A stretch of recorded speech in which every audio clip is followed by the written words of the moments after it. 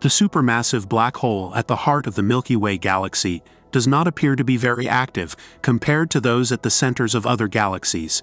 It doesn't swallow as big chunks of material and doesn't shoot huge plasma jets into space. However, scientists in Mexico discovered that this black hole, called Sagittarius A*, was actually sending mysterious signals to other parts of the galaxy.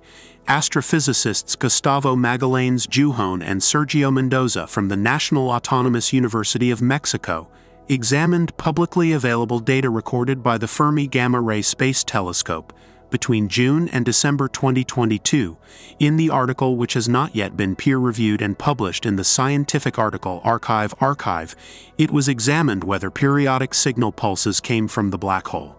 The findings showed that Sagittarius A emits an interesting amount of gamma radiation every 76.3 due minutes, Moreover, this radiation was in the most energetic wavelength range of light in the universe. On the other hand, it is not actually possible for the black hole itself to emit radiation. As a matter of fact, these cosmic giants have never been seen to emit any detectable radiation. It is known that nothing can escape from black holes, including light. However, the space around them can be extremely chaotic and turbulent. In addition, the periodic signals detected by researchers generally arise as a result of events occurring in orbit. This leads researchers to think that the signals in question come from an object orbiting the black hole. Another study conducted in 2022 suggested that a strong magnetic field created a hot gas bubble in this region, subjecting the particles to synchrotron acceleration and also emitting radiation.